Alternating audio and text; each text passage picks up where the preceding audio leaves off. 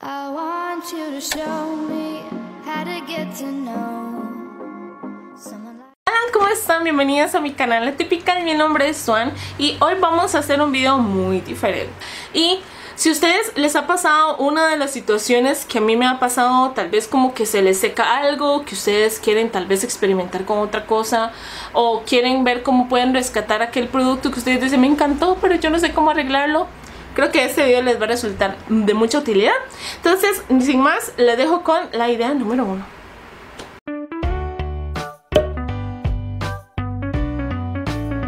Como ustedes pueden ver, la cushion está completamente seca. Ahora, les voy a contar de dos hacks que pueden hacer.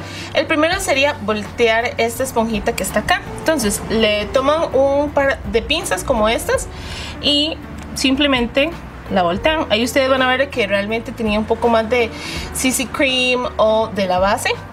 Entonces, con mucho cuidado, le dan vuelta.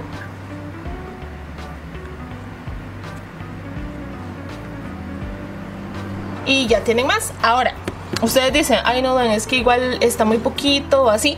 Yo lo que hago es, porque a mí en realidad me gusta mucho este tipo de tecnología en cuanto a bases, porque siento que se sienta muy bien en la piel. Entonces yo lo que hago es combinar bases y agregarlas a este fresquito y voy a combinar la de Wet n Wild para que sea un poco más líquida y también un poco más oscura. Porque yo les había contado les había contado que a mí normalmente las CC creams BB creams cushions siempre me quedan muy oscuras. Entonces por eso siempre trato de mezclarlas. Yo tengo unas espátulas acá que me ayudan siempre a que sea todo como más sanitario. Entonces yo con esas voy a comenzar a mezclar las dos bases aquí adentro. Ahora, otra cosa es cuando ustedes les pasa como a mí que ya la esponjita ya no les funciona o ya está como muy sucia. Sobre todo si ustedes eh, tienen acné o algo así, es bueno estarlas cambiando. Entonces yo lo que hago es comprar repuestos. Aquí en San José los pueden encontrar ahora en una tienda yo les dejo en la parte de la descripción la dirección. Entonces, así es como se ve el repuesto. Entonces, lo bueno es de que es muy económica y si ustedes ven en sí la diferencia es muy poca. A veces la diferencia está en que esta es como un toque más eh, porosita que esta, pero en realidad a la hora de aplicarla es lo mismo. Entonces, ya con eso tenemos el primer hack y ya podemos utilizar otra vez la cushion. Ahora para el siguiente hack lo que vamos a hacer es convertir estas sombras en crema. Yo quiero que sea un color más vibrante y que tenga glitter o como brillitos. Entonces eso es lo que vamos a hacer. Pero si ustedes pueden ver, así es como queda sin nada. Esta es la sombra que vamos a utilizar. Y como ustedes pueden ver es un cobre rojizo, pero tiene cierto glitter. Entonces creo que se vería bonito en esta sombra en mousse. Voy a agarrar entonces mi espátula y vamos a colocar un poquito y vamos a mezclar. Y lo voy a combinar con este glitter. Y también le quiero colocar un poco de esta sombra suelta que es como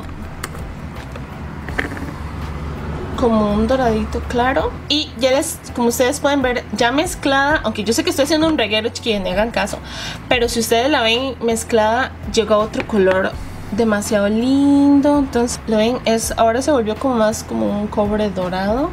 Está bastante cremosita no cambió la textura o, o la composición de la sombra. Ustedes pueden hacer el color que ustedes quieran utilizar todo lo que ustedes quieran ir ahí mezclando y todo para lograr una sombra diferente Ustedes también pueden hacer esto con labiales líquidos. Estos son dos labiales súper económicos que como ustedes pueden ver, aunque el color es hermoso, yo sé que se pueden utilizar como sombras porque ya lo he intentado y son súper económicos y nada más es de agregarle el glitter, mezclarlo bien y listo. Entonces yo les voy a enseñar cómo queda. Entonces este color quedaba así y ahora queda, ahora se ve el glitter. Ahora entonces vamos a tratar de salvar estas sombras en gel que la verdad es que tengo hace bastante tiempo y ya están súper secas. Este gel está súper seco y voy a utilizar un poquitito de aceite de almendra natural. Esto es para que eh, a la hora de estar poniéndolo a nuestros ojos sea totalmente seguro. Ahora, con un alfiler voy a hacer unos huequitos acá. ¿Lo ven? Y vamos a agregar una gotita de aceite de almendra. Y si ustedes ven, el aceite se va filtrando en los huequitos que hicimos con el alfiler. Entonces, ahora vamos a tomar el alfiler de nuevo y vamos a ir mezclándolo todo. Mezclándolo. Ven, y si ustedes lo ven, ya se está volviendo mucho más pastoso. Y así es como se ve el gel. Ahora yo voy a agarrar un poquitito de toallas de papel y voy a nada más apretarlo un toquecito junto con otro objeto como este y apretarlo un toque para que vuelva a estar abajo y funciona completamente bien. ¿Ven? Como ustedes pueden ver funciona completamente bien, no se ve nada grasoso o raro o aparchonado, sino completamente bien el gel. Entonces voy a hacer lo mismo con las sombras para enseñarles. Ahora no sé si a ustedes les ha pasado, pero a veces los geles para las cejas se secan. Este es el de NYX y ustedes lo sienten adentro también que está como seco, entonces vamos a salvarlo. Para eso voy a utilizar esta sombra de Color Pop, que si ustedes la ven está rota. Y entonces voy a quitarlo.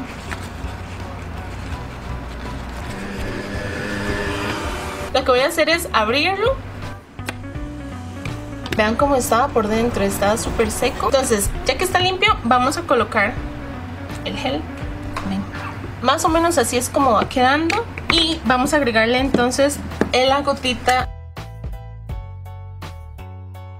Ahora si ustedes la ven, está mucho más espesa. Entonces vamos a probarla.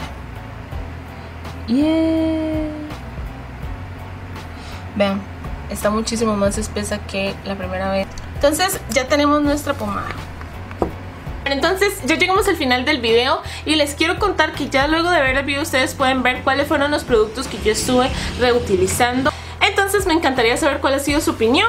En la parte de la descripción del video van a ver todos los productos que utilicé hasta donde yo recuerdo porque como le dije hay ciertas cositas que tengo hace mucho tiempo entonces no recuerdo en dónde las compré porque fue demasiado, demasiado. Pero eh, si yo recuerdo, yo les dejo en la parte de la descripción toda la información. Y entonces nos vemos en el siguiente video. Chao.